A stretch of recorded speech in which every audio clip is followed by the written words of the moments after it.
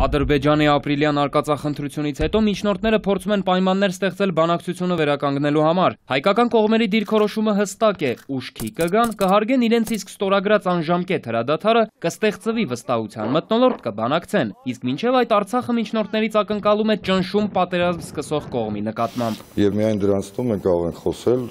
որոշակի ջանքերի, փորձի քայլերի մասին, որ կողված կլինեն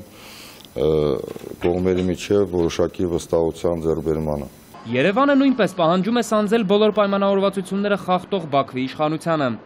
Բաքուն սպառազինվելու չեմպիոն է դարձել, բայց դա էլ չի օգնել ծրագրված բլիցկրիգն իրականացնելու համար։ Միջնորդները պետք է հստակ դատապարտեն Բաքվի հարձակումները, այլևս չի կարելի աչք փակել։ Մինսկի խմբի ամերիկացի համանախագահը ասել է, որ միջնորդները զուգահեռաբար աշխատում են բանակցության վերսկսման եւ բռնությունները կանխելու ուղղությամբ։ Օրլեքի խոսքով չեն կարող լինել նախապայմաններ մի կողմից բանակցության վերսկսման, մյուս կողմից վստահություն ստեղծող միջոցների ներդրման համար։ Այսինքն երկու գործընթացներն էլ ըստ համանախագահների պետք է ընթանան զուգահեռ։ Մենք աշխատում ենք կողմերի հետ բռնությունների ռիսկի կրճատման ուղղված միջոցների, այդ թվում հետաքննությունների մեխանիզմի շուրջ։ Համանախագահների համար այս միջոցները գերակայություն են ու կշարունակեն այդպիսին մնալ։ Խոսքը հենց այն միջոցների մասին է, որոնք մշտապես մերժել է միայն Ադրբեջանը, դրանք անվանելով զավեշտալի ու տարօրինակ։ Այժմ համանախագահները ընդգծում են, որ Բաքվի համար այդ զավեշտալի առաջարկները իրենց համար գերակա են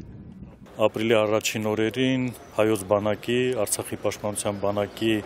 անznազողության եւ խիզախության շնորհիվ մենք կարողացանք ապացուցել, որ այս տարածաշրջանում Արցախը, Արցախի բանակը շարունակելու է լինել խաղաղության ու կայունության հիմնական երաշխավորը։ Վստահ եմ, որ Ադրբեջանը վաղ թե ուշ ստիպված է լինելու վերադառնալ բանակցային սեղանի շուրջ։ Առաջնագծից վերադարձած վարչապետ Հովիկ Աբրահամյանը փոխանցել է այս ընթացքում Արցախում տիրող տրամադրությունը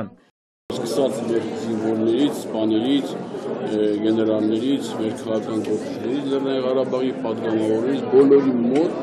շատ հստակ, բարձր վստահություն կար մեր ապագա հաղթանակների համար։ Ադրբեջանը պատերազմը դիտարկում էր որպես վերջին հնարավորություն, չստացվեց։ Բաքվում այժմ ստիպված են գտնել դրա բացատրությունը ու վերադառնալ բանակցության բոլորովին այլ հռետորաբանությամբ։ Դավիթ Սարգսյան, ժամ լրատվական։